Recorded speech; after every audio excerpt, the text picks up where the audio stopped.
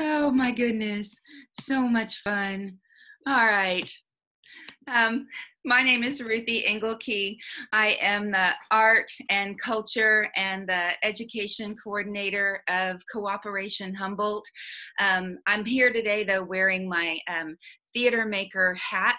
I'm um, at this stage in my life. I am on the uh, I'm the chair of the board of Redwood Curtain Theater, which is a, a small live theater venue that has been closed for the last year here in Humboldt County.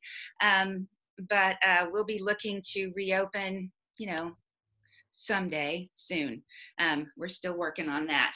Um, but uh, we, this group came together because we were not working. We weren't doing theater. So it was a really good time to stop and look at it. And um, here today with me, I've got um, two other representatives of the group. Um, and so we thought we'd start off by introducing ourselves a little bit, and then I'll come back and do a brief introduction about what do we mean by regenerative theater um, and, and what is our, our overarching question.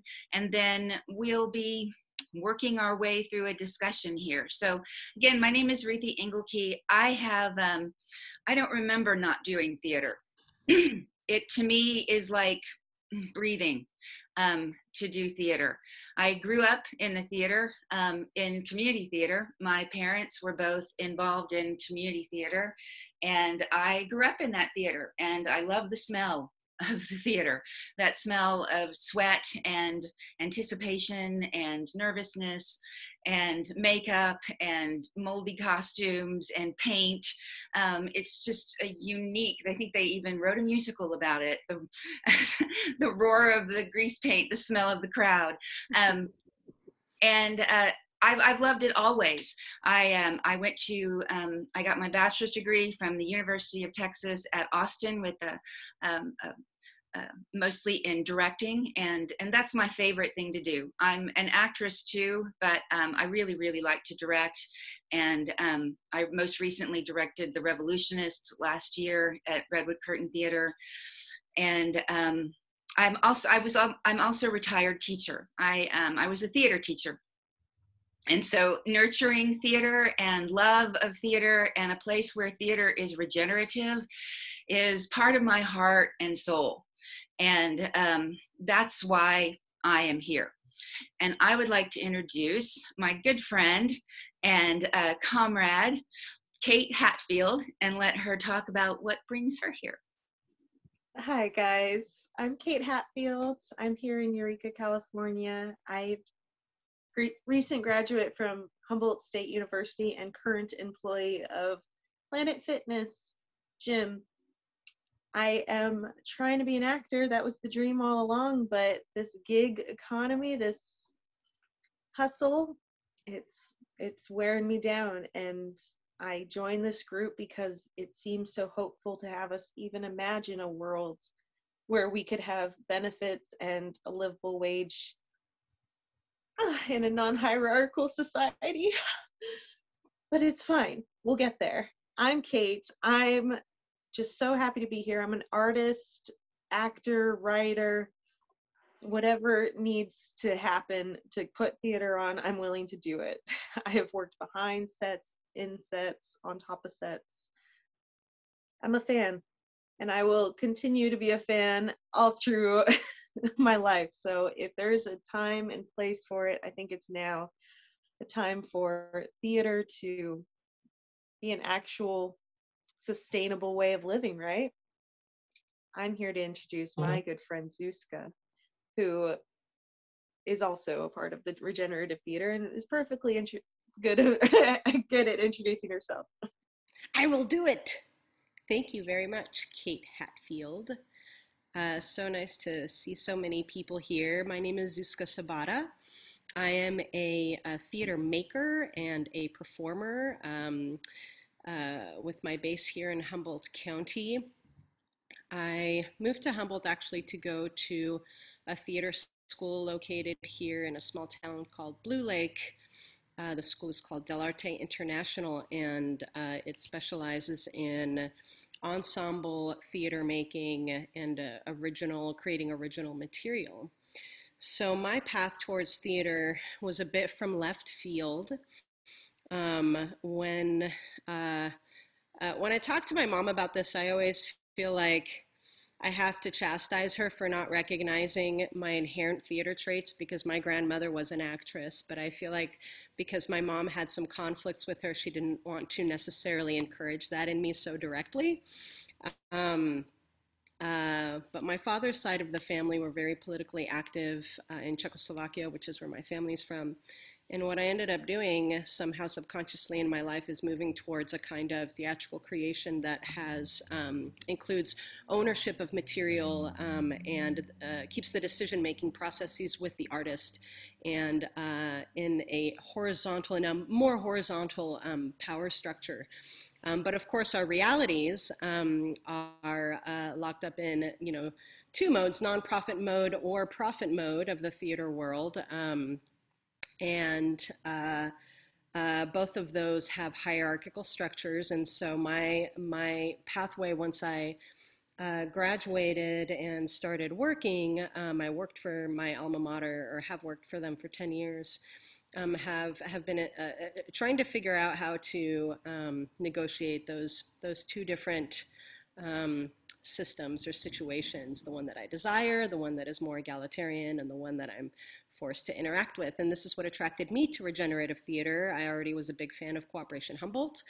And um, when uh, I guess it was Ruthie who brought me in, um, invited me in, um, I was very excited to have a conversation about what uh, regenerative theater, what that even means, how that can work. Um, and I'll pass it back to Ruthie to start us off. Thanks, Zuzka. You know, I am interested in um, in the people here and what brought them to theater. So I'm going to share my screen, and while I do that, if um, if you want to put in the chat, what is it that brought you to theater? What what brought you into this discussion? What what what was interesting to you?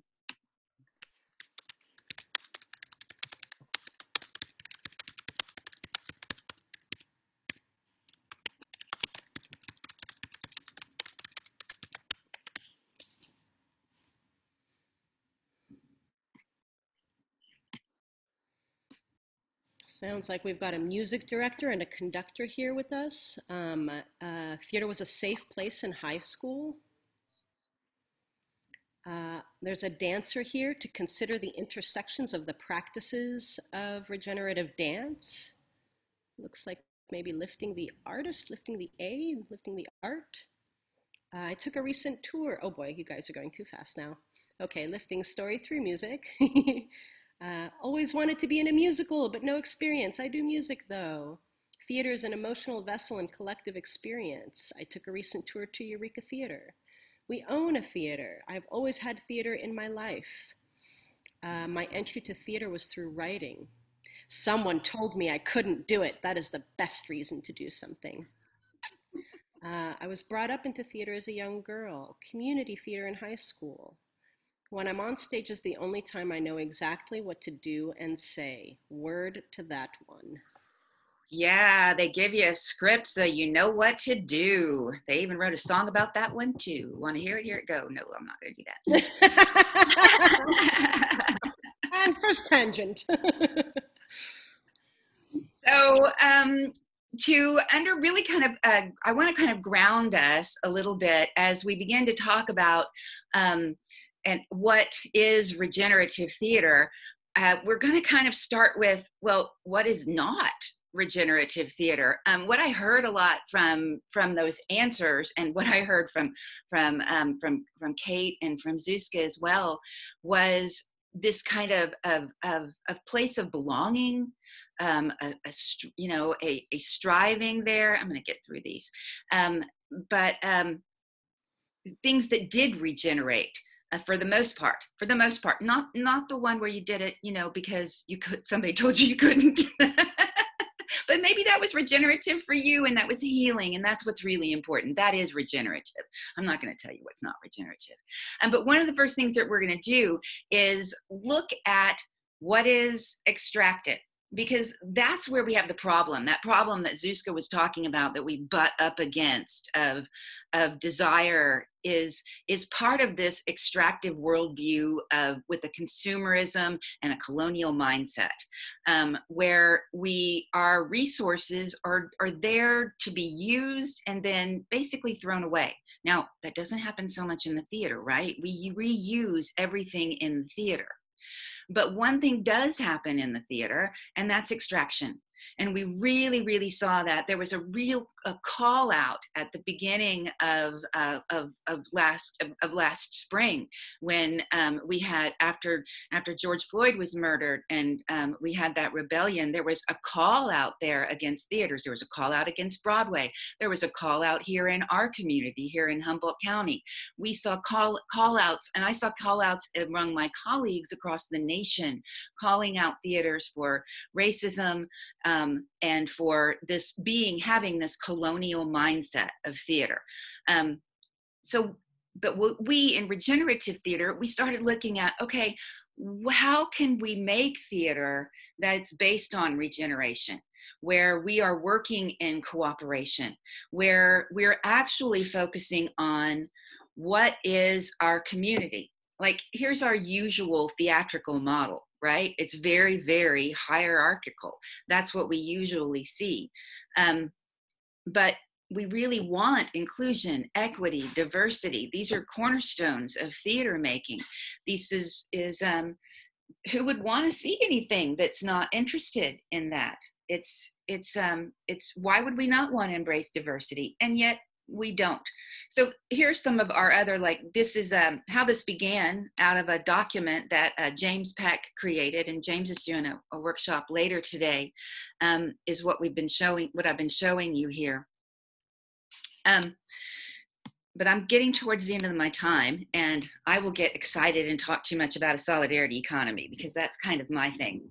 Um, but well, we did take some take up some of your time, uh, Ruthie, by introducing ourselves. Um, so since my block is the longest, I'm going to give you five more minutes. How do you feel about that? I can have five more minutes. I just broke the structure. broke the structure. Oh, good. Okay, well, I'm going to use it for a warm up here. So, yay!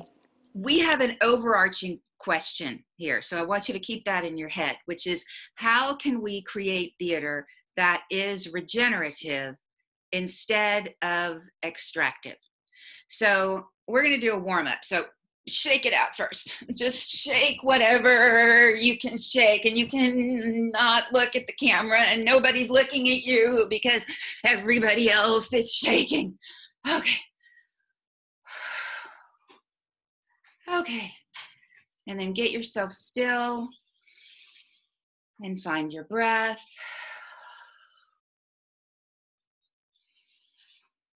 And see if you can sense how you're feeling right now at this moment. And I want you to make a shape with your body, and you can move it if you need to, that shows how you feel right now, right now in this moment.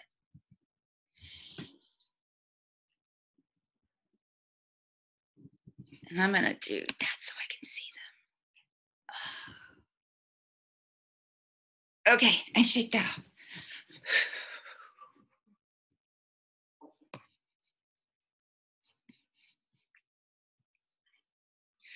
All right.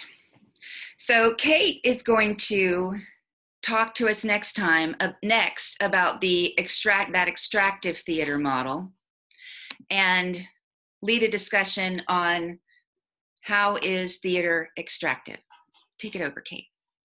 Yeah, I was thinking of how to incorporate my experience, but really it's a shared experience that actors and artists have to contribute their time, energy, and money to a project without the promise or even hope most of the time of any sort of return, just to get our art out there.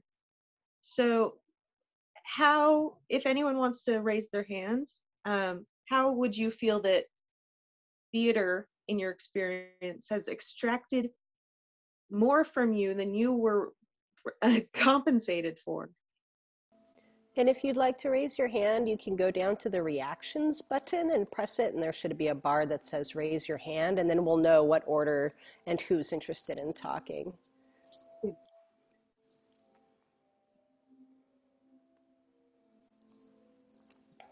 And if not, that's fine. I'll just start talking. it might take a minute for people to gather their thoughts because that's a that's a pretty deep question, Kate.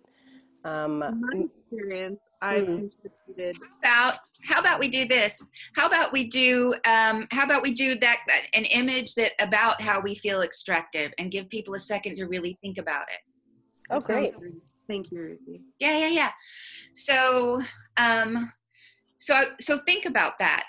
Um, how do you feel when think of a time when you were working, when you or or some kind of problem that comes up that makes it hard for you to experience your joy and really work your craft the way that you want to do it. What is that thing that holds you down, gets in your way, extracts too much of you what are some of the what are some of the the the things in the theater that um that weigh heavily on you? Make you go past your boundaries. And you want us to make an image of that? Yeah. Okay like yeah. a physical image yeah. Physical image of that and feel it in your body and make a physical image of what that feels like.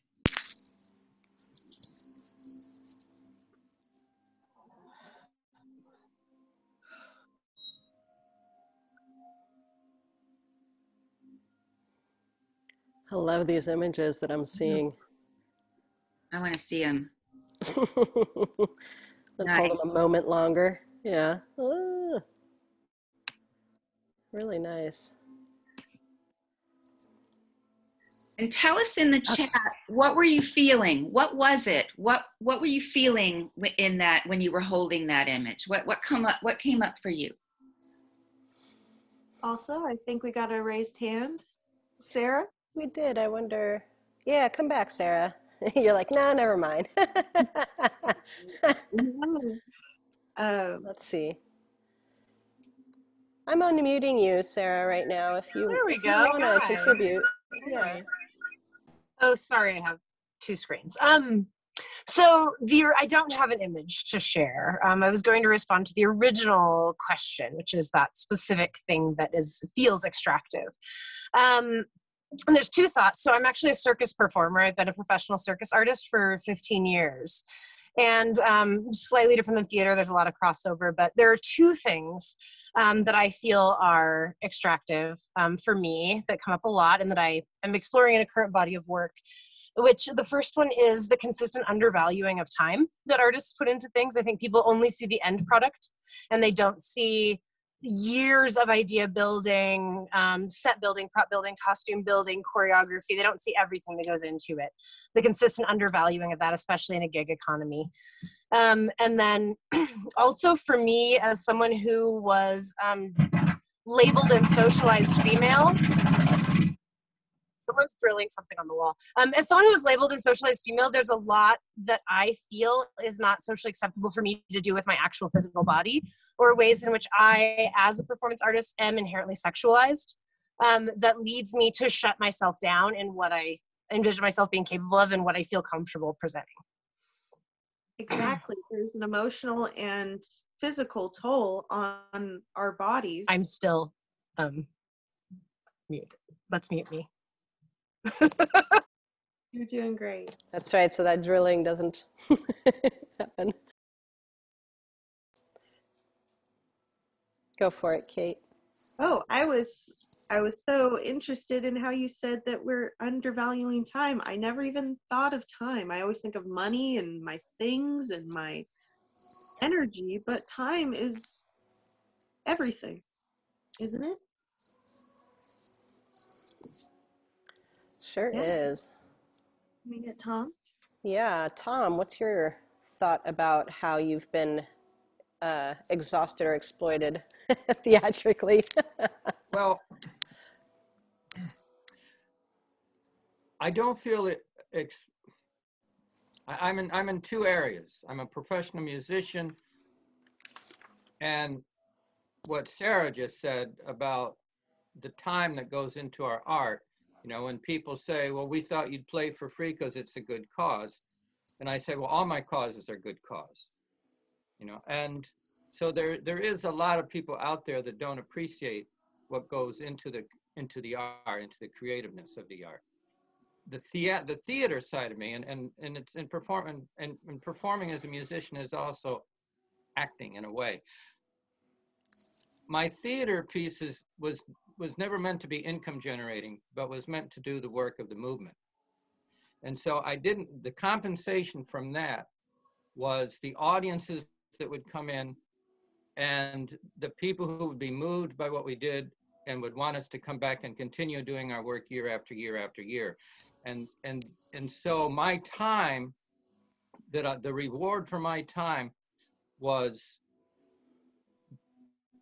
the lives that we touched and and that that was the compensation for it. And it's and in turn it supported my music because the two are, are, are really related because i you know i performed i sing in the in, in, in the labor plays that we would do.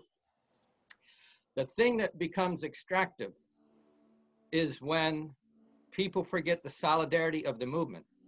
And someone wants to be the star, someone wants to be the hero, someone wants to make it all about me and forget that it's all about us. And that's what becomes very draining and that that's um, what was the word you that that and in a way it is it becomes exploitative of everyone in the cast of everyone in the movement that's trying to work together on this that becomes very difficult for me. And a resentment builds between the creators and those who are able to patron the creators, no? It it creates dissent in, in the whole troop because people lose the focus of, of, of why we're here. I Yeah. see Eric Rez is uh, next up in our queue here. Eric? Thank you, Tom. Yeah, I, I just wanted to. Um, well, the first thing that came to my mind was time, and then that the, the exhaustion that comes from not managing time well. So I, I had about a 15 year break from theater, and I just needed to get on stage again. And so I, you know, auditioned, and I was cast in a play, and we rehearsed last year that was going to open before COVID, but didn't get to open. But um, got really close to it. Got a seven or eight weeks into the rehearsal process, and um, where I where I felt the extraction w- was from the time and the, the time demands on being at rehearsals till 10 or 11 o'clock at night, and then you know going to work in the morning. Um, and my I there wasn't enough hours in the day to like really um, restore rest, you know, to do both of my jobs well, my professional job as well as my you know pleasure job of the theater. So um, yeah, I I was reminded of that recently. Thank you. Let alone having a social life. It's always I'm in I'm in rehearsal, right? we have another Aisha. And then we have Bobby, and then we should probably move on after that time wise.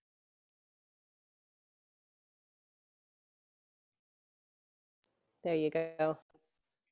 Yeah, I feel like um, I, in some ways, I feel like I made a fundamental mistake in believing my teachers when they told me that my job as an actor was to defend the humanity of my characters.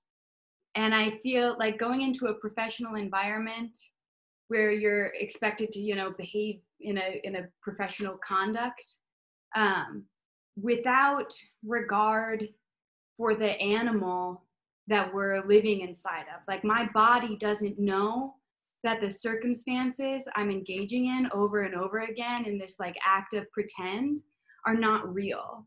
And the expectation that somebody should call hold and then I have to like stop being in a mental place where I am like say trying not get, to get raped because like pretty much all of the things that I was cast at as like one of the reasons I stopped acting was because I couldn't find any roles where I wasn't playing somebody whose identity was predicated by their sexuality. And the idea that I should like have to cut off that emotional negotiation of pretending to get murdered 10 times in a row in order to address a lighting cue in a polite way feels extractive. So true. So we have Bobby here in the queue. I'll unmute. Well, that's that's huge. Before Bobby goes, that's just huge, Aisha. I'm so glad, thankful for you for bringing that up. Um, the toll that that takes on your body, because you're right, the body doesn't know, and that's and and the body can't lie, and and we don't forget it, and then we not only have to stop cue, we have to go home and be somebody else, or, or go to our job, other job, and be somebody else. So thank you so much for bringing that in. Thanks for the time. Go ahead, Bobby.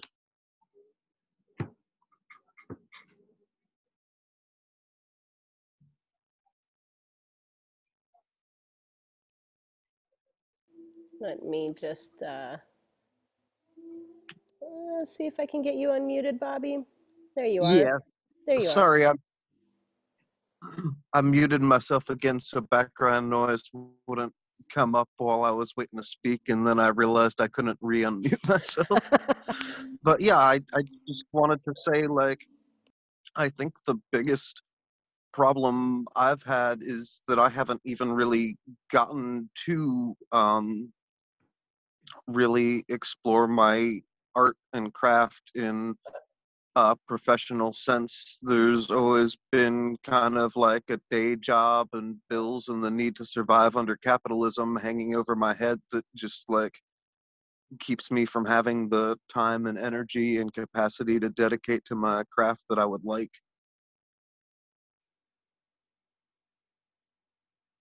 Yeah, I've heard uh, more experienced actors look down on newer actors because of they didn't put the time into their craft like people have all this time to spare. Man, I'll get heated up. I should give it back to Zuzka as well. And I'm gonna go straight back to Ruthie. At least that's the direction for me. Um, all right, so now's the fun part. Okay, so that was our little, our little, um, what we call them like a little stitch and bitch session. But it's also, you know, the other thing that I wanted to point out though, before we leave the extractive, is that because this is something that my partner says to, said to me says to me when I'm in a play. How does because because I am able to work and and and move things around. It was like how does somebody that has a 40 hour a week job that they can't go away? How does anybody do that? Like, well, they either don't or it makes them crazy. And and that it, the elitism that becomes of that because it's who can participate in the theater becomes really yes exactly eric participation is a privilege. Exactly. And then we notice you know who who isn't here and who's not at the theater. And that theater you know we're we're living in an in an, a hierarchical model. And if we're going to make it anti-racist and anti-hierarchical and um, and and not harmful to people, um, then it's going to be better for everybody. So, what are the things that's, that are good though? Because why do we keep? Why do we do it? If it's if there are all these issues and all these problems and it wears us out and it takes a strain toll on us emotionally, why do we do it? What what are the regenerative things about theater? What are the things that we would like to keep? And feel free to raise your hand or note in the chat if you'd like to speak about what would you like to keep about the theater. And I will tell you the one the things that I'd like to keep about the theater, um, and that's empathy.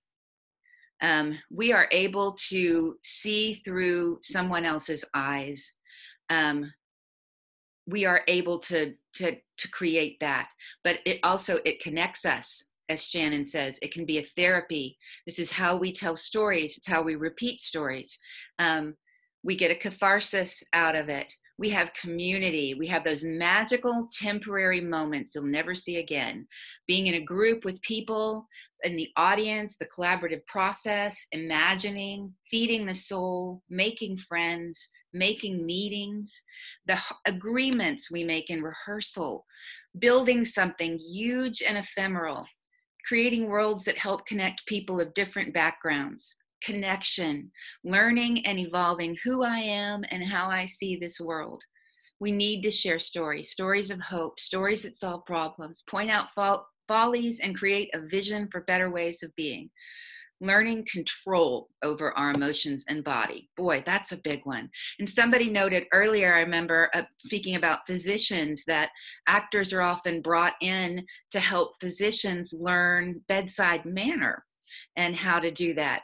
Um, I've talked with disaster response um, folks that um, with the Red Cross who want actors to come in and um, and role play and help people be prepared for that, um, but also then to come in and and take people's minds away from where they are um, and and help them create.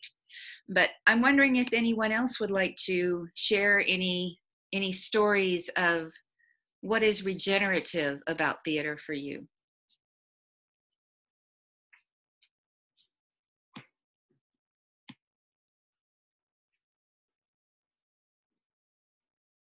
How about you, Zuzka? What's what's regenerative for theater about you? Oh, we've got Aisha. I just unmuted her. Yay! Hey. Um I think that theater is the most humanizing medium. I think that attention is the most valuable gift anyone among us has to give in breathing lifetime. And theater is like occupies this special space where it reveals that attention is how you look at what you look at. Mm. And engages intention in attention and i can think of no also just like the act of sharing physical space it like literally expands people's ability to see each other as human and i think we have a responsibility to that psychological gesture. Beautiful. Thank you. Thank you so much for those words. Yeah we do. We do have a responsibility to each other and and uh it's it's uh it's it's so different from from you can't you can't be in a theater and totally remove yourself from the, what is happening on the stage. Um, i've even read that you know audiences hearts beat together. They begin to to go together because you know that's where we're meant to. We're meant to do that. Um, so this is kind of the obvious point, I think, of um, of what are the regenerative things about theater. Um, this uh, this sense of community, of creating ritual, of um, of creating empathy and understanding um, how to control our own emotions. I think these are really, really important. Um, but I think that our important question is then how do we create regenerative theater? And Zuzka, I think you're going to lead us through this section. Thank you, Ruthie. Um, so I'm sure we'll be returning uh, to the things we've already talked about. Um, so feel free, Kate and Ruthie, to jump in at any point if you feel like it. It will not offend me. So I've positioned myself perfectly to be blinded by the light from my window right at this moment. Um,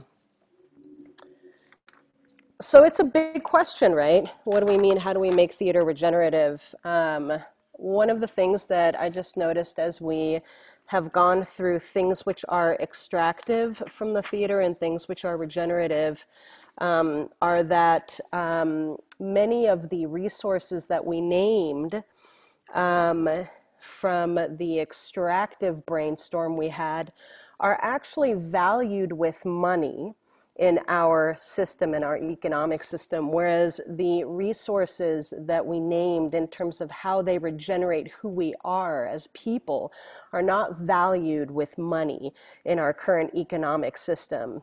Um, right? Time is generally compensated at a particular rate, whether that rate is equitable or not. Um, uh, gender norms or uh, let's, let's say the sexualization of bodies has a monetary value for uh, the performance industry.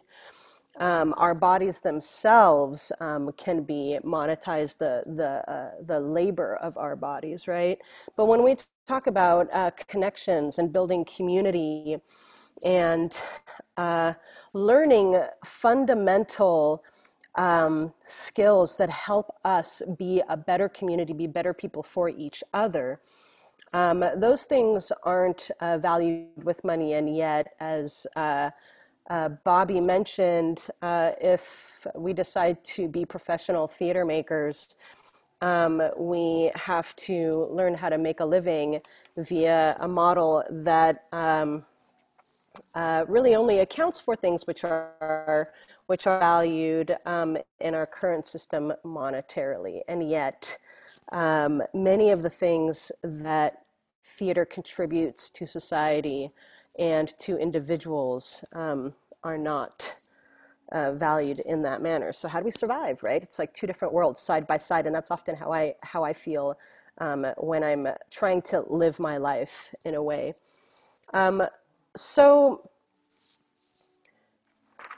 on that note, I wanted to solicit just your thoughts again um, about what types of changes, and feel free to be broad, make wide ranging general statements to very specific things that perhaps you are already doing or want to be doing, or in an ideal world would do, um, to shift from extraction to regeneration uh, in theater.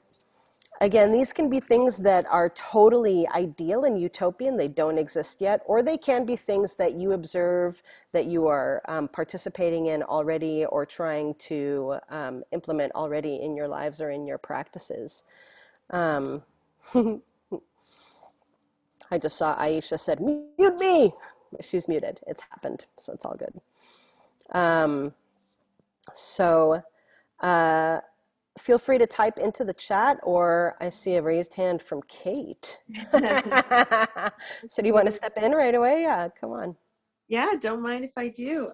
Um, I was listening to people talk about how their bodies can wear down, and not just that, but like the your brain wears down from the mental exhaustion of putting yourself through the same scenarios every time. And there could be a preventative way to take care of ourselves that is also healthy and medical in a way, in the way that we help the medical community learn empathy.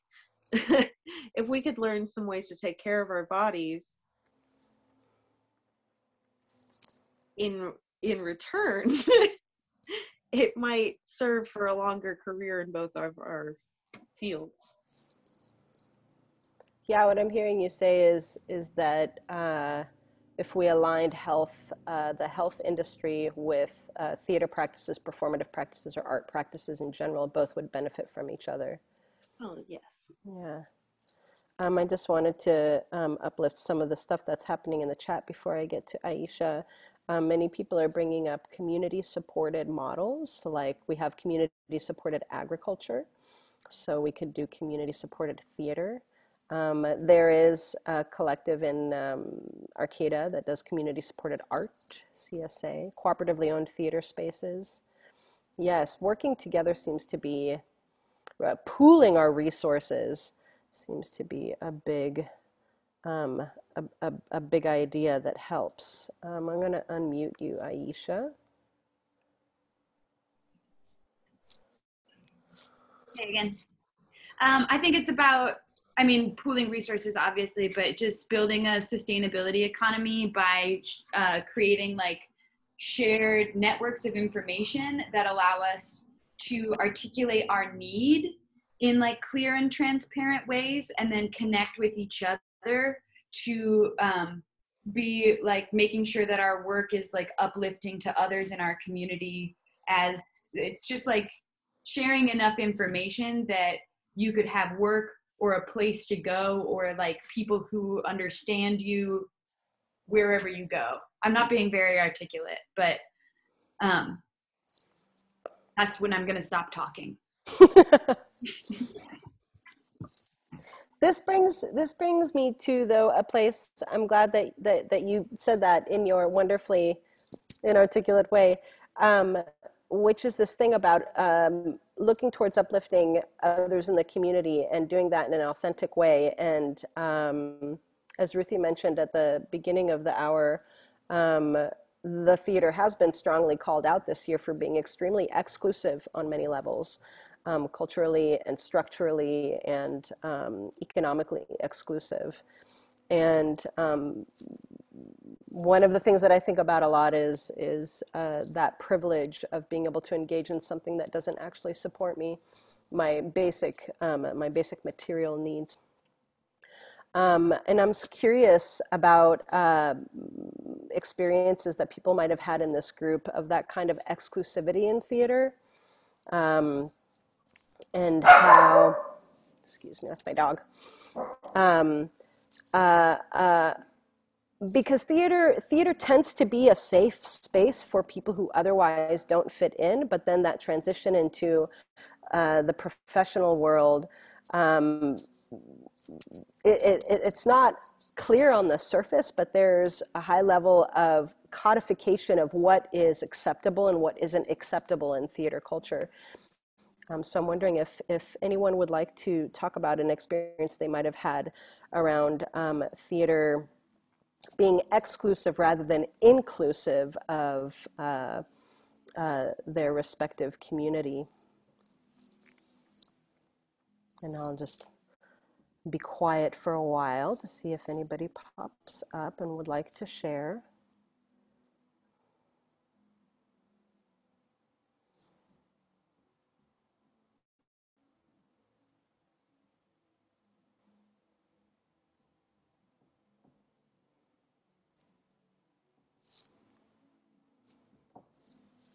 There's some great things in the chat as well, of course. Thank you so much for putting those ideas of yours in.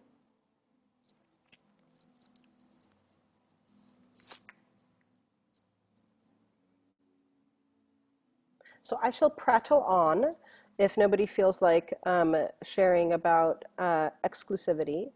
Um, one of the, and I'll just share a small, a small um, anecdote from my own experience, which is when I first started doing theater in the San Francisco Bay Area. Um, it was again sort of from left field. I was doing these guerrilla theater performances with a with a group of people that had uh, sort of uh, brought me into the stuff they were doing in parks. Um, uh, basically for friends and acquaintances that heard about these performances. But one of the things um, that I always felt was a huge challenge was like getting people into the theater. Like that seemed to be a problem. Like people would put all this work into plays and all this, all these resources into producing something, and then um, people wouldn't show up or people wouldn't want to show up. Um, the flip side of that coin, um, which I've, I've always felt pretty strongly about, was that the performances, um, even though there was so much effort put into them, didn't really serve the audience. And so people didn't show up because they didn't want to spend their time in that space. Um, so these are these are both for me where back then I didn't realize that's what it was about, but for me ways in which theater was very exclusive. Um, it was asking people to self-select to come into the theater, and also um, to be willing to sort of sacrifice their time um, to participate in something that didn't necessarily serve them, represent them, or speak to their needs or their true feelings or desires. Um, the bubble of theater, as it as it so happens to be.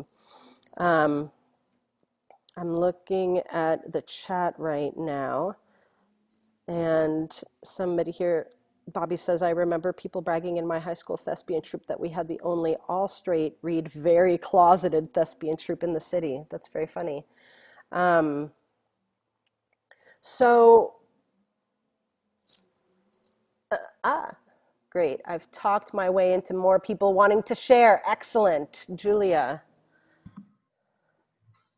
Hi, yeah. Um, I just thought I would share uh, a, story of exclusivity that was kind of a milestone for me and reckoning with the fact that I need to uh, be more selective with the opportunities that I get as an early career actor because simply some things are not worth my time. Um, I was in an ensemble of an Oscar Wilde show uh, that I had been cast in that I was not being paid for, and during rehearsal one day, I had made the suggestion that I think my character was into women because it was like very much so implied in uh, in the way the scene worked.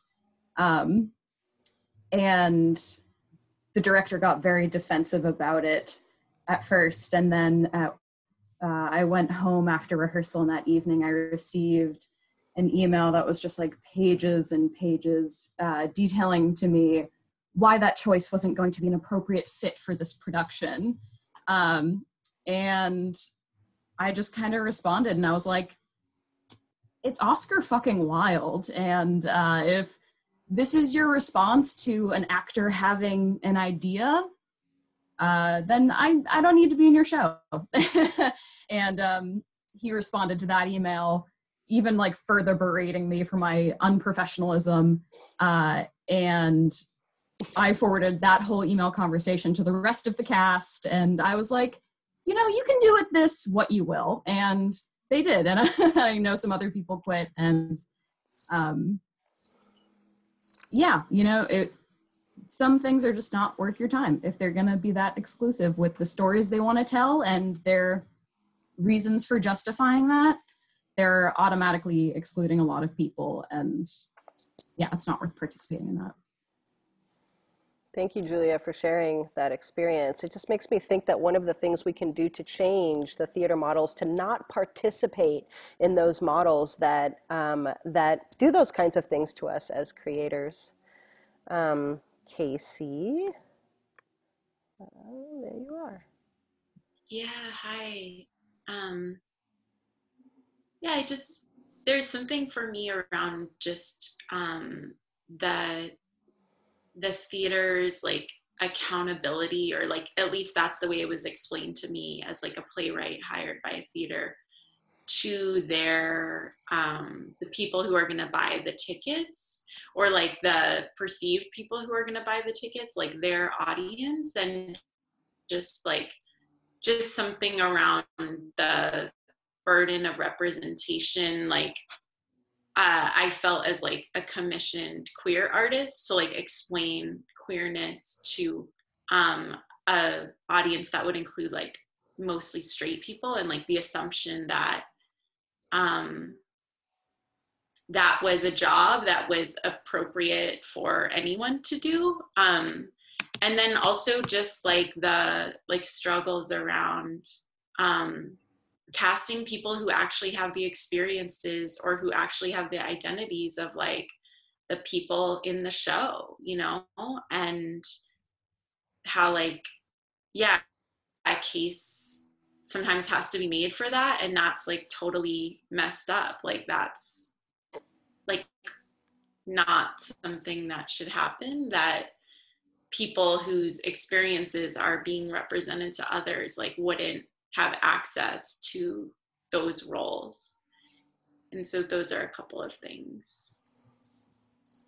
That's such an amazing point you bring up, Casey, in terms of access and again that exclusivity of who who like supports the current theater model economically, but what um, they uh, what that economic support system wants on its stages and how those are very unequal. Um, Thanks again, everybody, for your awesome thoughts in the chat. Um, there are entire conversations and themes that could split off from there. Um, but I wanted to move into an, our last, is it our last 10 minutes, right, Ruthie? We've got 10 more minutes. And let me just check in, Ruthie or Kate, is there anything that you wanted to pop in before I continue on? Oh, you're doing great, Zuzka. I could continue. Oh, good. Oh, good. Okay. Thank Back you. You're the director to my actor. I'm doing great. um, so, uh, when we think about what systems might support art within a solidarity economy, we've actually answered that question a couple of times, I feel like, um, in the chat in different ways. Um, collectively pooling resources. Um, there are different structures. Um, uh, uh, different different ways of structuring um, uh, a regenerative or sustainable um, uh, uh, way of bringing collectives of theater makers together. one of the things that um, I've heard several theater companies do in the last year in trying to address um, equity issues, and this this goes to that idea of time and how it is uh, taken from people is not requiring 10 out of 12s during production week for performers, um, which interestingly enough was sort of mind blowing for me when I heard that because I was like, how is it possible? You can't possibly put on a show without doing 10 out of 12s in production week. And um, yet it is possible. It's very possible. And so I'm wondering right now um, if I can again uh, pull this this group of people um, in terms of these can be idealized systems again. Um, if if you have a vision for some parts of uh, uh, uh, uh the the the ecology of theater making. Um, uh, that would actually be supportive both of the community and um, the people making the art. For example, if if we take uh, what Casey was speaking of. Um, uh, breaking down economic hierarchies of uh, supporting the theater model, um, I uh, invite you to uh, bring your ideas forward. What can what kind of systems can support art within a solidarity economy? Uh, some of the, and I'm going to talk a little bit just as people think, oh, good, great, Aisha saved me again. saved all of us from my incessant prattling. I almost always have something to say, and also I love it when you talk. Um, I just, I wish, I wish that rehearsal processes were structured in a way that was uh, like parallel poetically useful to the nature of the story that was being told. Like most rehearsal processes are four weeks. You're gonna get in, you're gonna do a week of book work, you'll talk it over, you'll get it on its feet, you're gonna walk it until it's memorized, you know all the parts, and we'll do tech week and then we'll play it for however long. And once you get to the actual opening is when you get to, you know, play the thing but I just like I don't know how that plays out in Tech Week or how that is economically viable. But I just think in the in the way of like Michael Chekhov, the four brothers of performance, form, freedom, beauty, and a sense of the whole.